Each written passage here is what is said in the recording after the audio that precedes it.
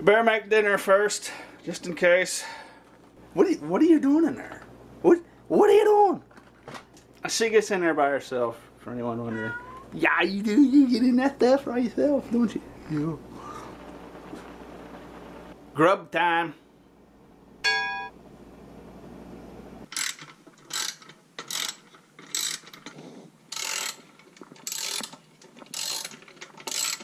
I've got these three transformers from my last video. If you didn't see my last video, link it up right down here in the description. What I've done is I cut all the insulated wire off of them so it doesn't burn. Because burning insulated copper wire is illegal and we don't want to do that. Although I did leave some little nubbins right there because I want to see if this is going to be hot enough to catch those on fire or melt them. I just want to see what happens. If something starts to burn, I can just take it off. So all we've got is the steel, the copper wire, and all three of these are pure copper, no aluminum at all. And then the paper, the tape, tape paper stuff, and that should just be. I don't think that would be illegal if that caught on fire. That just looks to be a paper. There might be some kind of glue on it, so I want to leave some of it on here to see what happens. I'll leave some, a little bit on there. So we've got those transformers. Got fire. We got ice. I've never tried this before, and no matter the results, I'm to show this what happens. We might have to give it a couple runs. I don't know if my oven's to get hot enough to produce what we want to happen.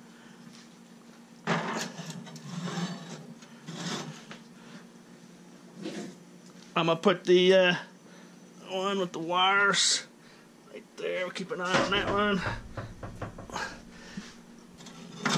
Put them close to each other. Maybe they'll heat each other up a little bit. The idea here is to make this these metal plates because these are all thin little plates. A bunch of thin little plates make up that big piece of steel. The idea is to make them hot so that metal will expand and those plates will pop away from each other. And we take them out of the oven and flop them into a bucket of super cold ice water. This is actually one of my pans I cook with. so I filled the bottom up with ice to protect my pan and it's also going to make the water super cold. And we're going to get the water as cold as we possibly can. We've got lots of other ice and stuff. We've got sitting in here super cold bottle of water. So hopefully when we've got super hot stuff we flop it in that ice cold water, it should make it cool so fast that those plates will just all pop apart and that copper should just fall out of there. Problem is, I don't know if my oven's going to get hot enough. Broil should be about 600 degrees. I don't know if that's going to be enough to do the trick, but we're going to find out. We don't want anything to catch fire or start burning because that would make it illegal. It's highly illegal to burn this kind of stuff. Insulated copper wire. I don't think we've got anything that would be considered illegal in there. And hopefully that paper doesn't catch on fire. I'm also going to hit it with the broil heater element up there too. Starting at 951, 952. Keeping an eye on them. It's not burning whatsoever, the little pieces of insulated wire I left on there. So that's really good keeping a close eye on them. The little nubs of insulated wire I left on there are not melting or burning. The paper's not going even close to burning. 20 minutes. What I'll probably have to do is, is turn them on edge so that the edges of the plates are exposed to the to the 600 degree heat and not just the tops and bottoms. Maybe 40 minutes, 41 minutes The little nubs of insulated wire I left on there are starting to burn. And you definitely don't want to do that. So I'm to get that out of there. Look at that. Actually, it wasn't the little nubs of wire. They're protected by that tape, that papery tape. And that's actually what started burning was that papery tape. And it definitely had a toxic smell to it. So you want definitely don't want to leave that on there. I got almost all of it off these other two though. I had left that on there intentionally, just as an experiment to see what would happen. And now we know, got to get that off.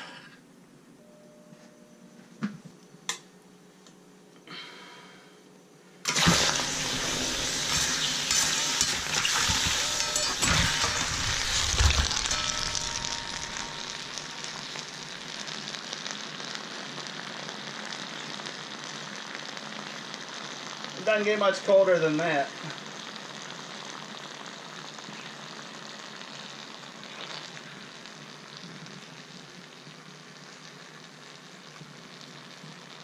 That sucker was pretty hot, I can tell you that.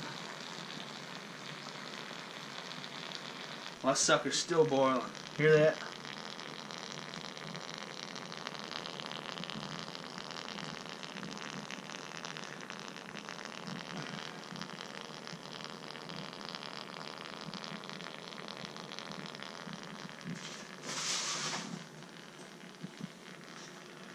All that ice melting. Man, that thing was hot. I didn't think it was that hot. I wonder if that did the trick. Hour and a half. This one was on edge, and it sounds kind of angry.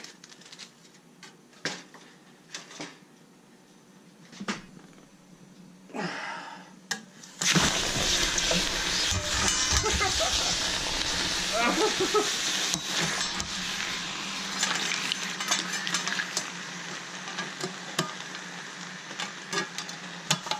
in the ice cube again.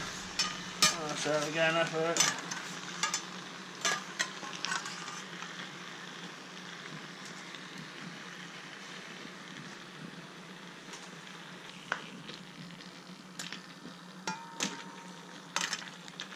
I don't know if you can see down in there.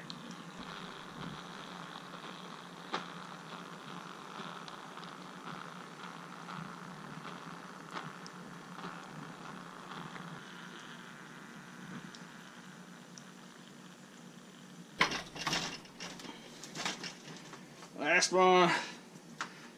Hot potato coming through.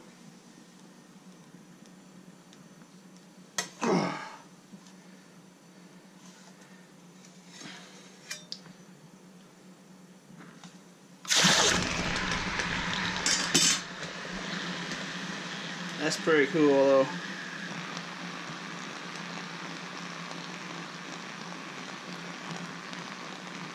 That ice is just melting so fast.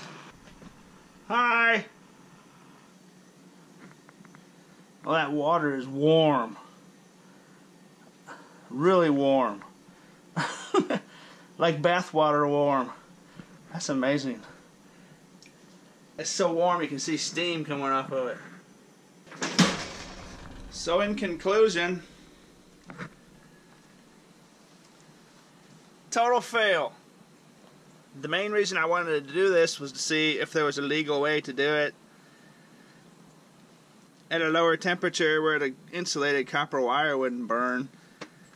And it turns out that tape is actually toxic and illegal as well to burn. And you definitely don't want to breathe that stuff. This is something that you don't ever want to do in your oven. Although the exterior plates did get hot enough to where they did come loose. And for those of you that don't know, these plates aren't all one big plate. They're they're pieces. See, like you see how it's about to come off right there. They're little pieces like that, and it, in theory, you get it hot enough, it just crump, you just fall apart like butter. But uh, definitely, definitely the outer ones came loose. There's a little separation here in the center,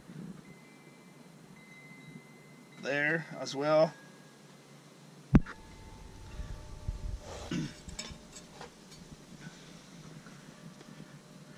So you can see that at a much, a much, much, much higher temperature, this would just fall apart.